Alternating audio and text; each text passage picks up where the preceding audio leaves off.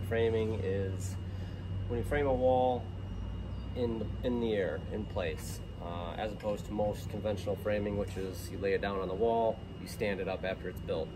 So when you have a sloped ceiling like this, which is common in a lot of situations, um, you have to balloon frame the walls.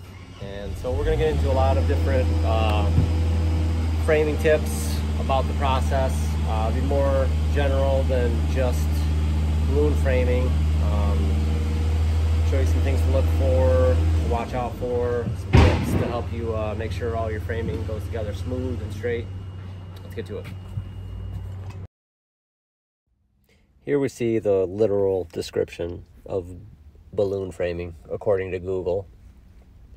However, carpentry is very rich in slang, so some crews might call a particular process one thing and it and it may not be universal. You might find people using the same terms to mean different things. And so anyways for us, uh, balloon framing just means, you know, to frame something in the air, to frame it in place, as opposed to a normal framing process, which is laying a wall down on the floor, building it on the floor, then standing it up, you know, fully assembled putting a floor system on that, and then doing the same process over and over. Um, so anytime we have to frame a gable in the air, we call it balloon framing. You know, if we build a gable on the ground and stand it up, that's not balloon framing. Uh, so sorry if there's any confusion uh, in the way that I use this term, but uh, this is kind of a local a local attitude towards balloon framing, I guess. Anyways, back to the show. Okay, so the first thing I want to show you guys is the difference between uh, an interior wall connection and an exterior wall connection. So on an interior wall connection, we'll, we'll put what we call a full buck. So what you get is this little U-shaped construction where the center of the wall aligns with the center, center stud. And what this does is when your wall aligns on the other side, you get a full drywall nailer on each side. So this is a full buck connection and we do this on every interior partition location. This is what it looks like on the inside. So you can see you've got drywall nailer here, drywall nailer here. And when you nail this wall together, you can basically just follow the, the reveal of your buck in order to locate where your wall goes. Don't worry about plumbing it um, because it's going to be plumbed when you straighten your exterior walls. Interior partitions, you don't want to plumb them. That's kind of a mistake if you haven't straightened your exterior walls. And then um, on the exterior connection, what we do is we put in these block, uh, these little backers. And the reason why we do this is so that you can insulate behind this. So if you can imagine a full buck going all the way to the wall on both sides here, it would create a trapped airspace behind the wall that you couldn't insulate. Plus, it's kind of a pain in the ass to run your wires and feed through a buck. Um, back when I first started framing, that was kind of the norm, but um, 20 years have gone by and you know we've all got a little bit smarter. Um, it's important to set these at two foot centers. So you can either do 16 or four foot 16 and go two foot and go. But what's important is that um, you're putting these in in order to receive drywall. So if they put run if they lay their sheets down four foot wide they're going to have a solid nailer at the corner. That is really important so, just the difference between bucks there, because what we're doing here on one side of our wall, where our balloon framing is gonna meet the exterior, you can see we put in some backing here, so that's kind of step one. Get your backing in. Step two, lay out your walls. So you can see we have our walls all laid out here. And then the next step is gonna be to project these lines onto the rafters. The contrast is too shitty here if you guys can see this, but basically I've snapped a line across here. However, there's an important pitfall here that probably every carpenter has done at least once. So what's important to notice is that when we frame this, when we balloon frame this wall, we're gonna nail our top plate to the rafters. Right, it's gonna go like that to the rafters. And then we're going to plane the studs into this edge right here, okay? which means that when you plumb up your bottom plate, you're making a mark on your rafter, it's actually off from where the edge of your nailer is gonna go, okay? So that's the problem. So if you were to actually project this line up, nail your stud there, and then put your, bring your stud over to this edge, you it would actually be out of plumb, okay? So again, when you're making your line, your initial mark is marking the plane of the wall, okay? Then you have to subtract the distance that your pitch is gonna fall in an inch and a half thickness of board. So you're gonna make a secondary mark back. So because it's a 12 pitch, inch and a half up, inch and a half down, it's really easy. When I project my wall up, I know that I'm gonna mark it an inch and a half lower, okay? Show you that. Okay, so you can see right here, this was the actual plane of the wall, which I marked, and then I did, I subtracted for the pitch, which is a 12 pitch, so I went an inch and a half back, snapped my line, and then when I nail my top plate on, it'll go on the secondary line, and once it's plumb, it'll actually project up to that secondary mark, or the first mark. So again, same thing down here. This is where the wall, this is actually where the wall is plumb, but because it's gonna align, it's gonna plane with this edge right here. That's where you need to nail it. And you can see how if I put this right here, this corner is already out quite a bit. So I push your wall out of plumb. So I think probably everybody's done that maybe once. So it's an important thing to understand. Uh, let me show you briefly how to calculate that for something that's different than a 12 pitch. All right, so here's a better illustration of uh, what I was doing with, with my lines I'm marking on my rafters. And in this case, we're gonna use a 612. So you can see how when you snap your line on the bottom, when you lay out your floor on the bottom, you got a chalk line, you plumb it up, with a laser or a level and you make a mark on your rafter. And then you have to measure back the offset for that particular pitch. Now, with a 12 pitch, I know that if it's a inch and a half run, it's gonna be an inch and a half rise. That's how I know the offset is that.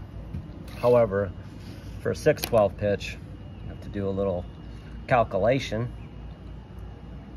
Six inch pitch, we'll put inch and a half run, and then we'll hit the rise button. And that's gonna be three quarters. So this is gonna have a three quarter offset. Let me just make sure I did that correctly. Six inch pitch, one and a half run, the rise button, three quarters. So that's a scenario um, in most of these cases, the backside of these little sections are just attic space, unfinished. So I don't really worry about where my 2x4 hits here. Um, obviously, the longer this gets, as in like a 12 pitch, you know, it's going to be hanging way past the plate. But if you had something that was very shallow and this corner was actually into the wall, might be something that you might want to rip. But for the most part, uh, I don't really think it's worth the effort. Again, if you did want to rip all your top plates, add a, uh, you know, add a six pitch bevel. You wouldn't have to do any of this, uh, but it doesn't take very long and this is the way we like to do it. Information, the next cheater tip here is to, when you're putting this top plate on, when I'm nailing this on here, I can't just go buck wild and nail it wherever I want It's very important that I make sure that these rafters are straight. So it's important that I transfer the layout from the bottom onto this plate before I nail it so that I'm sure that when I butt into this wall, the distance from my first rafter is the same as the distance from the wall to the first rafter at the bottom. It's a really important thing that a lot of people do wrong. They get ahead of themselves they'll nail this on. And then when they get up to sheet the roof, they're like, what the hell's going on? My rafters are all out of whack. So anytime you're nailing something, you know, just keep in mind that you are permanently fastening that framing member and you want it to be straight, plumb, square, whatever it is. Don't, don't put a nail in anything unless you're sure all those um, requirements are met. So, because this butts into the gable and my plate is gonna butt into the gable, I can hook onto that. I see it's 16. 16 and go.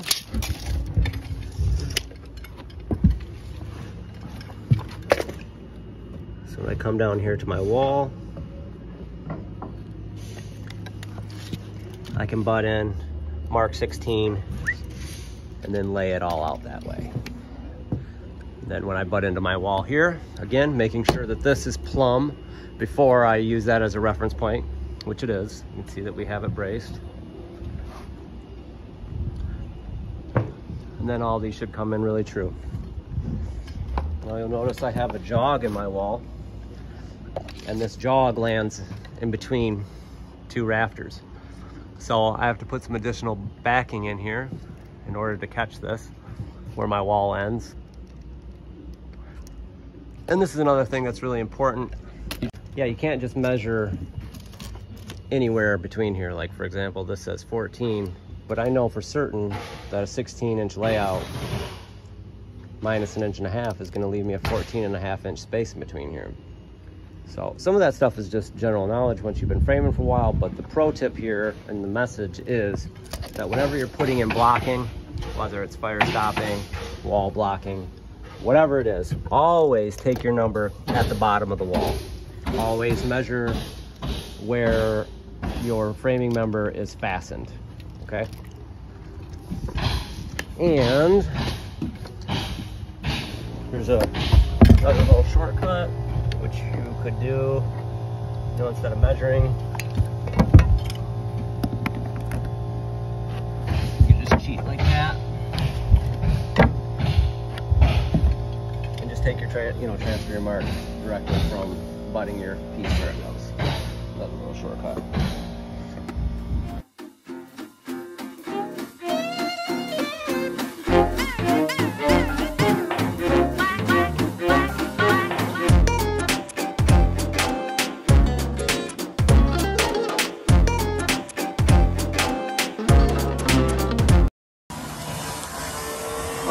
So now it's time to get a stud length I just wanted to also show you guys something that I did here.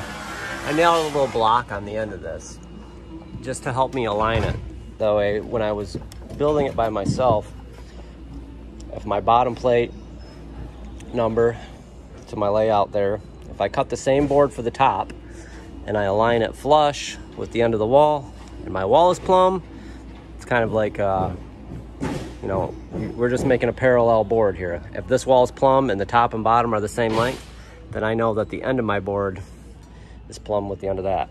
So in order to make it easier to do, I just nailed a block on so I could basically butt it to the end of my wall and not have to try to align six different things all at once. So just a little shortcut there. Our next step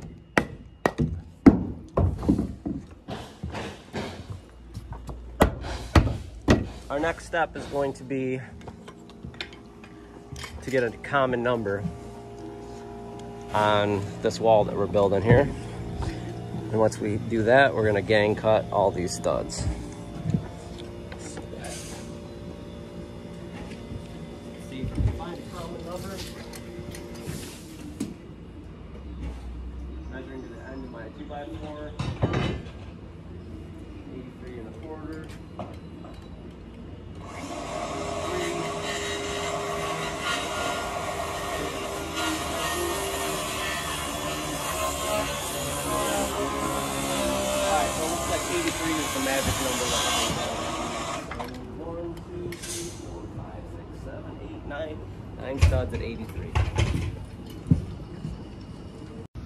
I'm all set up to start gang cutting my studs.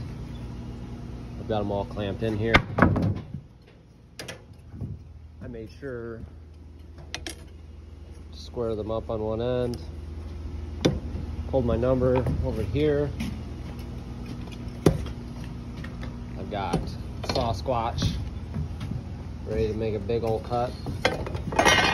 but something that's important to do when you're stacking these studs is to make sure that they're all crowned the same way. And what that means is that when you look down the edge of this board, it's gonna be hard to see on a this camera, but there's a slight, slight curvature to most lumber.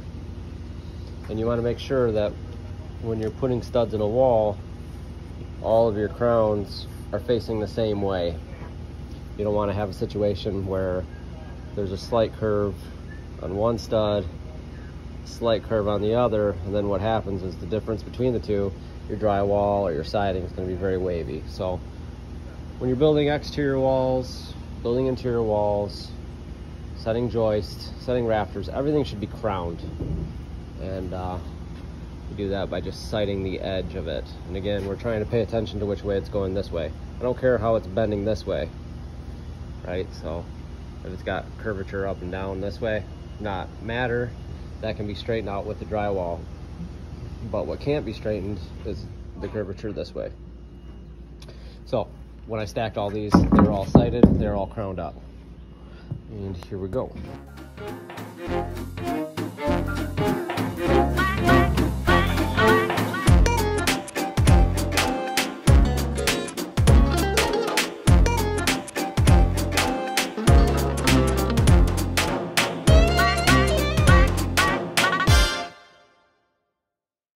I've got the first section of my wall framed. It's time to start transferring this little jog up to the ceiling. So repeat the same process as before.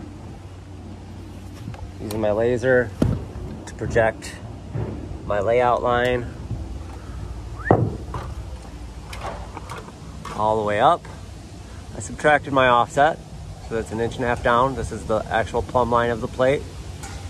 Same thing on the other end, down there. Measure down an inch and a half again, and then Troy and I snapped a line. So that gave us the location of our 2x4 plate.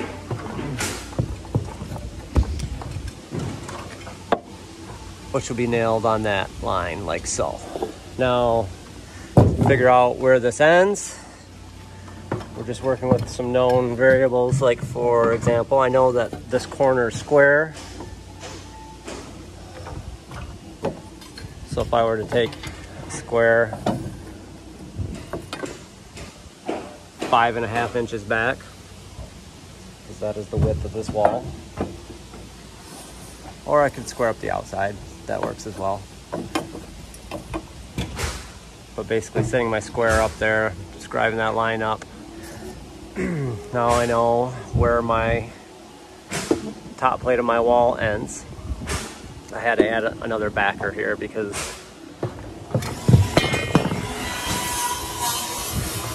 once I put the nailer on for my 2x6 wall, I didn't I wasn't hitting any meat there, so now we're rocking and rolling. So, final step is to figure out how long this plate needs to be up top. And again, the trick is, as always, we measure the floor. It would be a huge mistake to hook onto that mark and measure over to the gable and cut that size because, well, for one, nothing's, this gable, this gable is quite movable right now. And if I cut this too long and nailed it on there, now I'd be basically nailing my gable out of plumb. And since it is really important that your gable is straight. Straight and plumb should be the same thing. But what you do is you want to make sure that your gable is straight. So what we usually do is when we're sheeting the roof, we'll cut a straight line on the outer edge and we'll move our gable to the line of our plywood. And that will make sure that our gable is straight, that our overhang is straight, and that when somebody's standing down there on the ground having a beer looking up, they don't see their overhang going doing the wave, doing the worm. So back to this plate. So I want to make sure that I measure from the bottom to the bottom. And if that corner's plumb, this corner's plumb, in theory, right? But not always in practice, because again, we just want to make sure that we're straight over there. So what I'm going to do is whatever this measures, I'm going to cut this top plate about 3 eighths smaller. And the reason is that'll give me 3 eighths of overcompensation. So let's say I need to bring this gable in a little bit. I won't be sabotaged by my top plate butting into it, holding it out at a fixed position. I'm, I want to be able to have options later on. So I'm not committing myself to a certain length. And uh, this is probably the most important part about being a framer is uh, recognizing the next step and not sabotaging yourself. So when we transferred our layout from these plates to the ceiling, we are committing ourselves. I've just locked all those rafters in place, but I know they're straight because I transferred the layout from the bottom. So they're, they're all parallel. Anyways, so this measured 184. I'm gonna cut the top plate at 185, I'm sorry, 183 and 5 eighths. And we're gonna nail it on there. It's gonna be 3 eighths short from the gable, which is gonna allow my gable to move later on. Here we go.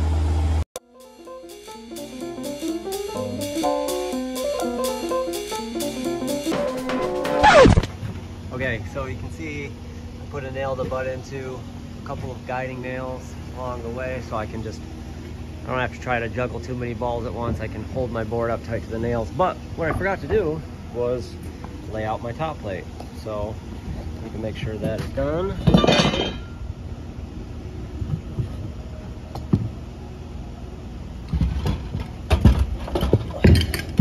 So in order to transfer the layout onto here, I'm gonna hold this at a 16, 16 and go And the edge of this is at 19 and 3 quarters, which means I can put 19 and 3 quarters there and pick right up on my 16 and go layout. So again, holding 16, seeing what number aligns with this edge, and then bringing it forward. And then I can carry on that layout all the way down.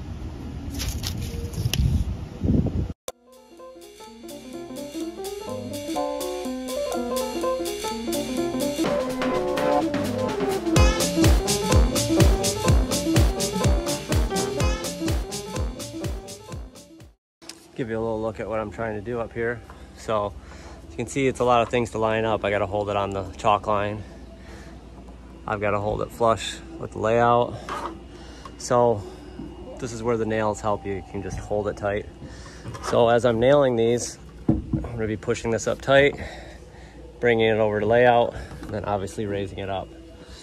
Very often with crooked ass lumber, you have to work the board. So I'm not gonna get very much leverage 16 inches away from this. So since this is slowly running downhill away from my line, I might go down four or five feet, four or five layouts.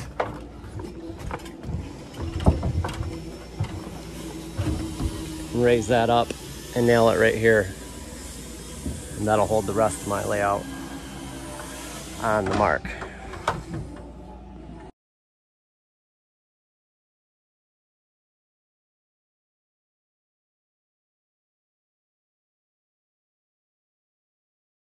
All right, now I got this wall ready to plunk some studs in here. I took a couple measurements.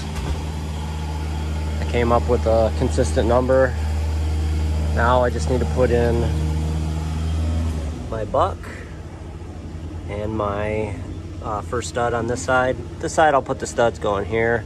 So this is probably the only stud I'll need for this wall. This stud will make the corner for the rest of this. Um, but I know these studs are 83. So that means when I cut one on a flat, instead of being on a pitch cut, it'll be on a bevel. And then the first stud after that, I already know the number for both of these without, you know, just by taking existing knowledge. So I line these two up. My buck in the wall, flushes up with the wall, the next one goes right on top of it. So um, just kind of aimed at more beginner framing things, but just want to demonstrate how a lot of times when you have one number, it will give you all the other numbers that follow. So the long point of the first stud will be the short point of the second stud, is my point. So, um, yeah, and we'll cut these studs, zap them in, and then that's pretty much it. That's, it's like the whole process.